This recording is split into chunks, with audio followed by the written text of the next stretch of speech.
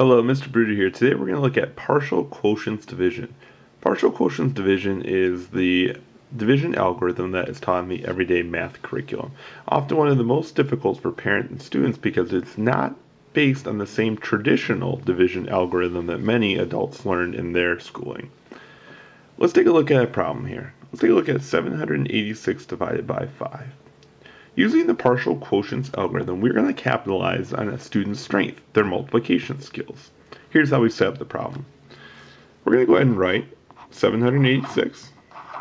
Okay. And we're going to say that we're going to divide it by 5. We have our dividend and our divisor. Our dividend and our divisor. Now, here's where things get a little bit different from the traditional method. We're going to draw a line down the right side what this is going to do is going to separate the amount of groups that we've taken out and the number of items that we still need to take out. First thing we're going to do is we're going to think about what problems we know. Well, let's think about multiplication. We know that 5 times 1 equals 5. That's easy enough for us. Because of our tens rule, we know that 5 times 10 equals 50. We know that 5 times 100 equals 500. These are all pretty basic skills that we have mastered in the fourth grade.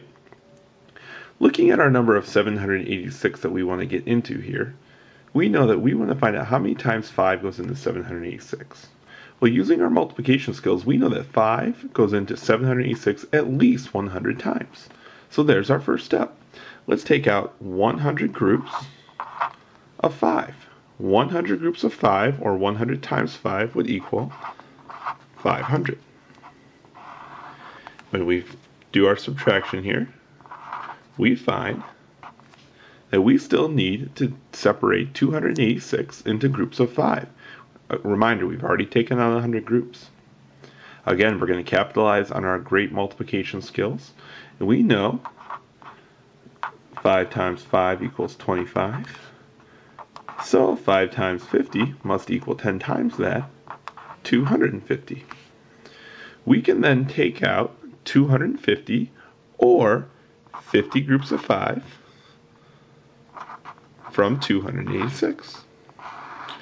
When we subtract, we find that we are left with 36 remaining items that we want to separate into groups of 5. We've already taken out 150 groups of 5, which would equal 500 plus 250, 750. Okay, and we have 36 more items that we want to take out. Well, here's a basic multiplication fact. We know that 5 times 7 equals 35. And when we subtract, we're left with 1. Okay. Now reminder, this is the groups that we've taken out. We want to add these up. So we have 100 plus 50 plus 7. That'd be 157 groups that we've taken out. And we still have this one guy hanging out here. This is going to be our remainder we have a remainder of 1. We cannot break that 1 up into any more groups of 5, so therefore it's left over. In this case, becomes our remainder 1. What we've demonstrated here, that 786 divided by 5 equals 157. Remainder 1. We can check this by doing a multiplication problem of 157 times 5 plus our remainder 1. And you will get our original dividend to 786.